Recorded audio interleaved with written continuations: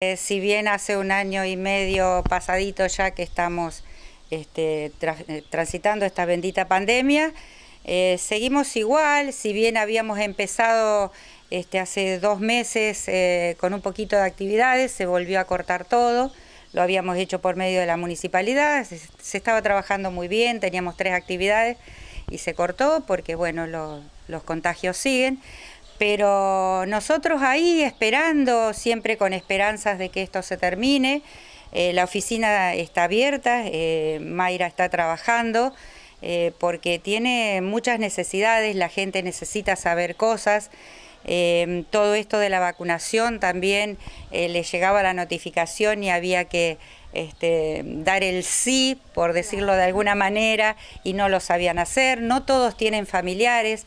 Algunos piensan que, y los hijos, el vecino, no es tan así. La gente se preocupa mucho, a veces no quieren molestar, a veces no tienen a quién dirigirse, así que estuvo haciendo eso. De golpe vino la vacuna antigripal, la gente no sabía qué hacer, venían a consultar. Este, y así que de a poquito vamos este, intentando seguir con esto, se hace muy difícil, la gente está muy cansada. Eh, yo creo que en un primer momento eh, nos han cuidado y bendito sea que nos hayan cuidado, pero ahora ya de a poquito eh, deberíamos ir empezando a hacer algo. La gente se está enfermando, hay mucha gente que si bien ya está vacunada, sigue pensando de que tiene que hacer algo y no hay actividades, no podemos iniciar ningún tipo de actividades. Y eso es lo que nos está preocupando. Este, yo hablando con alguna gente de, que viene este, al centro, eh, nos comenta cosas, dice, no sé dónde ir, tengo miedo, eh, y todo esto eh, hace que el adulto mayor no esté bien.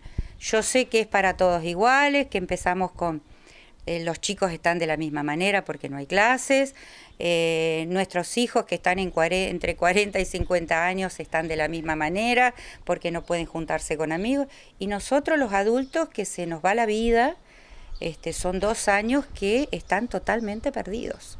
Las, eh, los, permisos para el inicio de actividades con protocolos depende de una decisión nacional que, que tenga que ver con PAMI. Claro, depende de la decisión nacional este, y después provincial, porque a nivel local eh, el intendente cuando se vio un poquito aliviado, nos dio la posibilidad de hacer esas tres actividades. La gente se había enganchado de maravilla, nos habíamos enganchado tremendamente, re bien, felices, pero bueno, este, después vienen las órdenes provinciales Alguna gente se enoja, pero es así.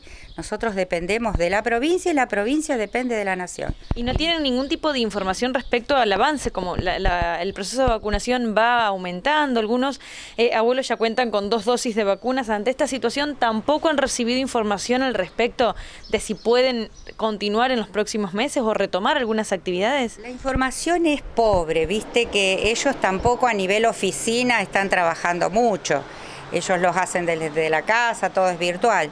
Yo tengo esperanzas de que, porque si vos pensás en San Carlos estamos bien con respecto a vacunación, me parece, de acuerdo a la información que tenemos. Este, y a nivel provincia me parece que por ahí se puede ir viendo eso. Yo creo que me parece a mí que en un mes más agosto, septiembre como máximo, tenemos que arrancar despacito, esa es la esperanza. Pero información, hay muy, muy poca información.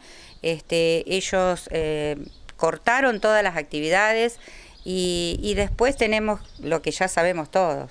Buenos Aires es el ombligo de la República Argentina y, y, una vez que hasta que ellos no salgan de esto, olvídate de que van a autorizar la provincia.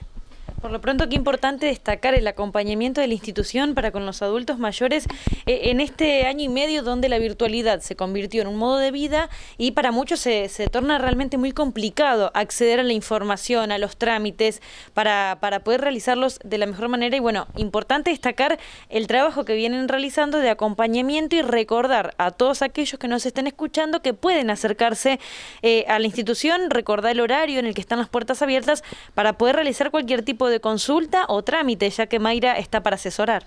Exactamente, es muy importante. Nosotros nunca dejamos de hacerlo. Lo que pasa que ahora, este, al estar sin actividades, es como que hay que recordárselo este, a, la gente, ¿no es cierto? Nunca dejamos de hacerlo, siempre estuvimos con, el, con respecto a, papeles de salud y bueno, y ahora sí, este, decirle a la gente que se acerque cuando tienen alguna duda, este, porque la parte tecnológica no es para todos. Eh, uno más o menos se la va arreglando y no todo tampoco.